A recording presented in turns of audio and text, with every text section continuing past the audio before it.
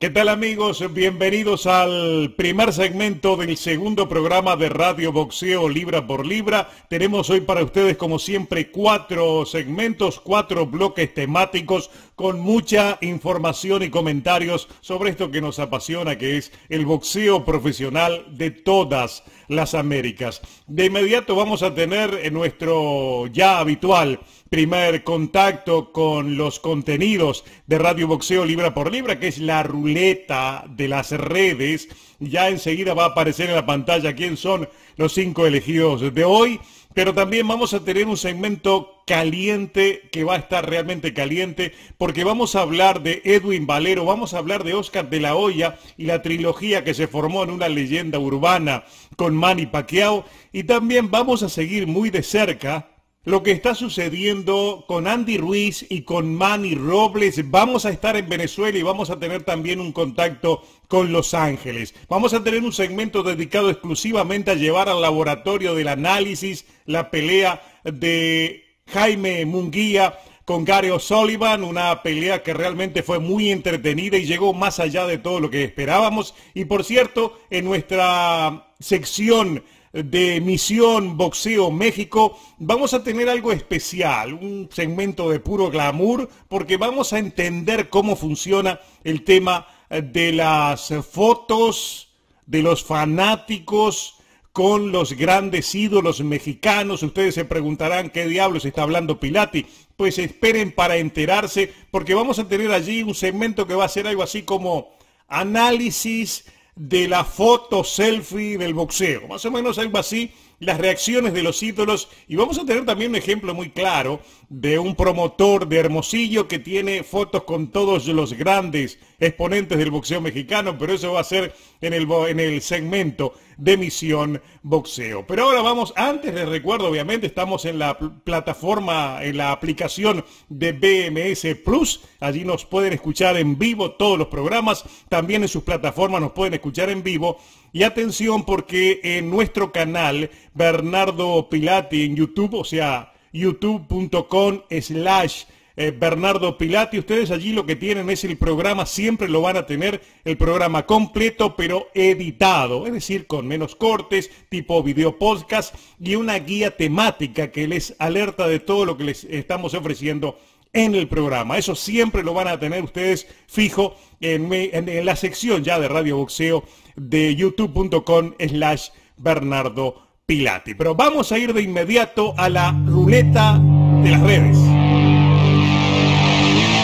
En la ruleta de las redes hoy tenemos a Miguel Berchel, tenemos a Jagur Stevenson, tenemos a Gary Russell Jr., tenemos a El Rey Martínez y por supuesto que tenemos también hoy a Patrick Teixeira, este brasileño que ha sorprendido a todo el mundo. La gente nos está preguntando quién es, qué pasa con él, cuál va a ser su próxima pelea anda un rumor sobre Patrick Teixeira. Les quiero dar una información muy fresquita relacionada con Teixeira y también eh, con lo que puede pasar con los demás. Pero vamos a ir a las preguntas. Yo les recuerdo que la, ruleta de las redes eh, no es una broma, es una búsqueda de preguntas a través de las redes sociales y lo que está surgiendo eh, permanentemente en los foros y también en los listones de comentarios, allí donde se debate, se pelea y se discute sobre el boxeo, quedan preguntas pendientes, quedan consultas que nadie responde y de ese universo eh, de inquietudes surge precisamente esta ruleta de las redes, por eso es algo tomado íntegramente al azar. Esta vez le tocó a estos cinco eh, exponentes, algunos son campeones, la mayoría evidentemente, nos, nos vinculamos más con el tema de los, de los campeones y la, búsqueda de información sobre los mismos. Y evidentemente la, la primera pregunta tiene que ver con Miguel Berchel, subirá a las 135 libras este 2020 para buscar a Lomachenko. Esa es la pregunta y merece una respuesta, evidentemente. Eh, yo lo que les digo es que eh, lo de Berchel tiene, eh, tiene, sus, tiene sus cambios con respecto a lo que todos imaginábamos que podía suceder con su carrera en este 2020. Yo pensaba de que luego de esa pelea que va a sostener con Oscar Valdés que está para fijarse la fecha, pero es la pelea que viene entre Valdés y Berchel, por más que hay voces eh, que alientan a que no se realice esa pelea. O sea, la pregunta que me hacen sobre Berchel está dividida eh, en dos vertientes. La primera, hay que esperar que realmente se confirme esa pelea con Valdés. Eh, como que hay un poco de temor a, allá a Valdés ponérselo a pelear con Berchel. en el entorno de Valdés, que ustedes saben que tiene mucho vínculo con los Reynoso, hay como que preocupación, ¿verdad? Porque no se vio bien en su debut en las 130 libras Valdés.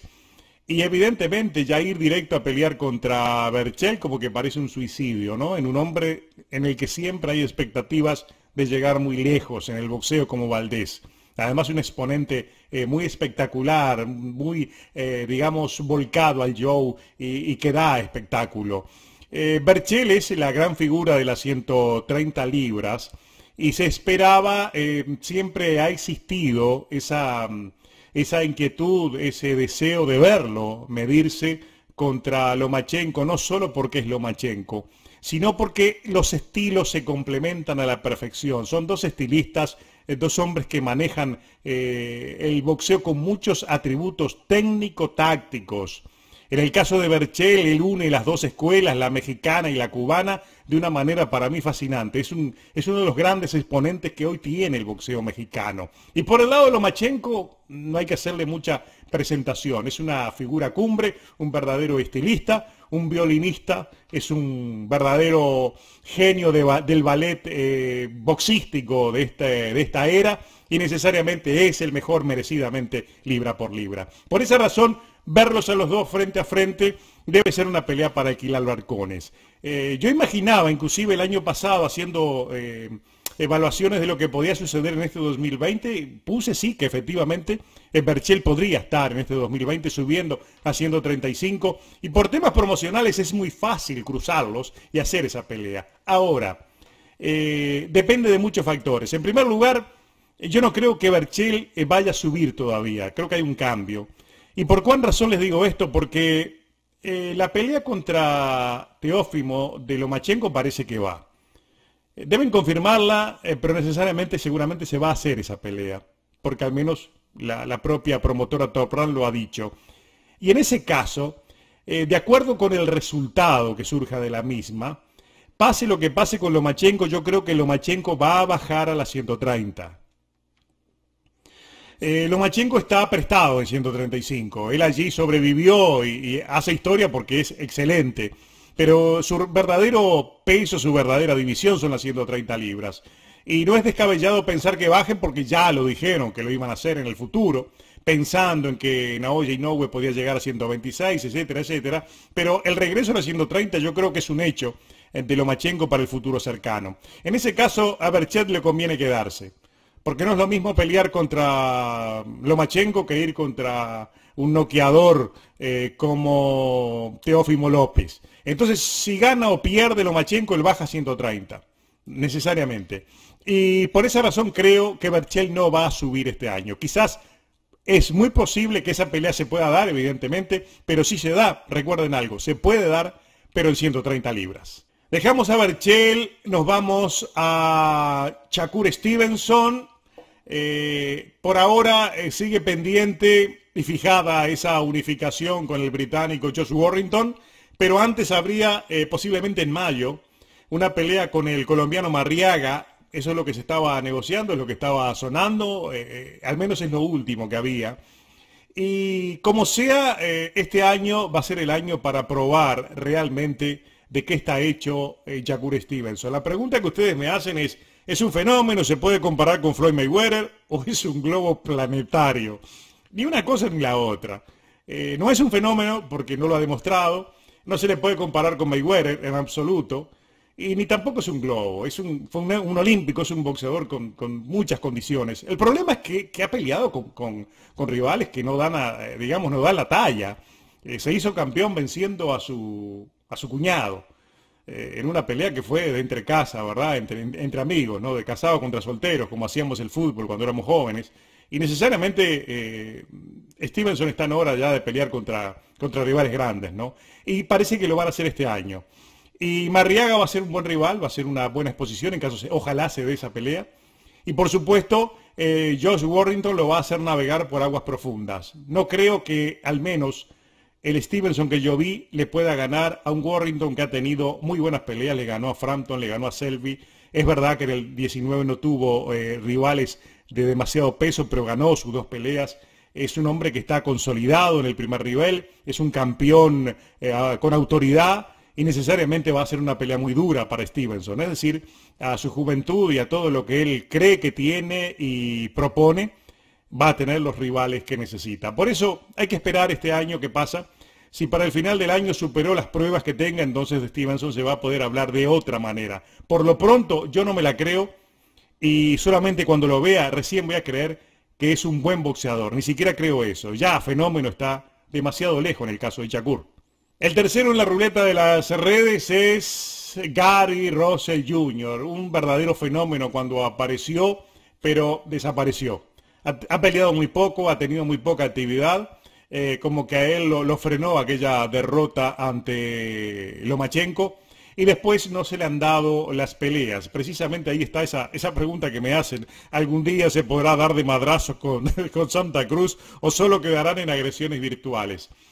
Eh, dos temas. Él tiene una pelea ahora contra Tuxot Niambar, está 11-0, es un mongolés, pero que ha hecho toda su carrera aquí en Estados Unidos, es, rival mandatario eh, por el CMB. Es una pelea que en la teoría previa la debería ganar Russell y después creo que se va haciendo 30 libras. Ustedes me preguntan si se puede dar esa pelea que todos pedían contra Leo Santa Cruz. Yo creo que sí se puede dar. Y no por Santa Cruz, no por su, y no por su padre, se puede dar, sí, porque los dos están con el vínculo con Al Heyman y si a Al Heyman se le antoja que esa pelea se dé, se va a dar. Y yo pienso que se puede dar, eh, porque es una pelea donde hay mucha mala sangre y yo creo que ya este año es algo que estoy vaticinando. Eh, Leo Santa Cruz va, va, a tener rivales buenos. Necesariamente tiene, que tenerlos porque Santa Cruz tiene con qué enfrentar a buenos. No sé por qué lo han frenado. Y creo que va a ser eh, Russell aquel que lo enfrente, pero atención, va a ser en 130 libras y con todas eh, las ventajas para Santa Cruz, Russell se las va a aceptar todas y estoy seguro que esa pelea va a salir. Ya con respecto al, Rey Martínez, ¿qué va a hacer después que venza a Jay Harris? Claro que le va a vencer, claro que ahora el 29 lo va a noquear y claro que va a ganar su primera defensa de calle sin ningún problema, ¿no? ¿No? Es un rival, eh, Harris, ustedes tienen ahí en mi, en mi página en un video que realicé eh, sobre Harris y la, legitimidad que tiene alguien que reconoce que solo enfrentó a jornaleros y lo están llevando a, pelear por un título mundial. Es, un disparate, ¿no? Eh, si Martínez no lo vence, no lo noquea temprano, realmente vamos a tener que empezar a medirlo desde otro ángulo, ¿no? Yo creo que le va a ganar y le va a ganar bien, porque además Martínez es un excelente boxeador. Ahora, la pregunta es, ¿qué va a pasar? Si va con Tanaka o no, si Tanaka realmente eh, se asustó, como, como presumen algunos, y se va a 115. No, Tanaka ya dijo que se queda. Vamos a empezar por ahí. Y yo creo que se va a dar esa pelea.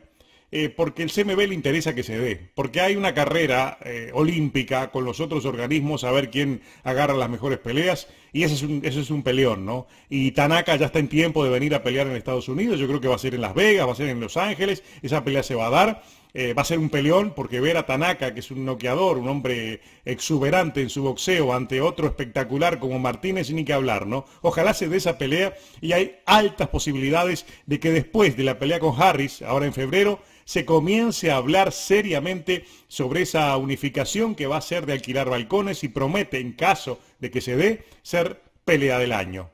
Y por último, entonces ahora, eh, Patrick Teixeira, para mí fue una de las grandes sorpresas, para mucha gente no, incluso me lo discutieron.